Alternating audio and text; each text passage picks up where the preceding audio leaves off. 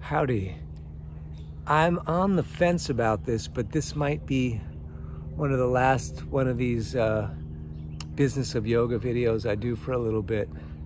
There's part of it that's like giving me, like there's a negative quality to it. I know that has something to do with me. And also, you know, this, the whole thing, I remember coming into the yoga community where people are like, don't be negative. And I think that that's a problem, which is one of the reasons I started to do these videos. Because I think we need to be able to see things so that we can, uh, you know, navigate around them if we have to. Just saying, don't be negative or like negativity, like we look the other way. It really breeds like um, an opportunity for, I saw it says on this rock right here, that's weird it said, when I said that, I saw this rock and it says, uh, evil. How fucking weird. Anyways, and hopefully I'm not making anyone seasick. And we got helicopters. But let's get to the story. Um, and you can let me know in the comments if I should keep doing these. I maybe do them when I feel like it. But um, in the first couple years I was teaching, uh, teaching these pretty big classes at Runyon and uh, after class one of the students came up to me and she said I really like your class.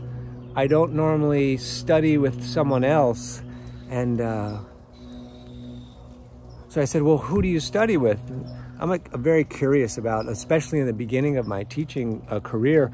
And she says I do yoga with the best yoga teacher in Los Angeles. And I was and I my brain froze for a second. And I, I remember my thought patterns. I was like, um, is there like a poll? Is there like a magazine? Do people like vote on this? Is there a contest? How do you find out like who the best yoga teacher in Los Angeles? So I just asked her, I said, how do you know that um, he's the best yoga teacher in Los Angeles? And uh, she said, he told me that froze my brain for a long time. I sat there thinking, and I think I just stood there in silence for a while. Um, she said, well, he just announces it at class all the time.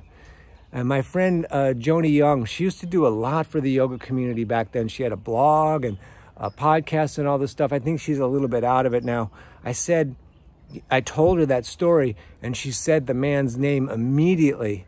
And everyone knew, and everyone was like, okay, with this guy walking into class every day and saying, I'm the best yoga teacher in Los Angeles.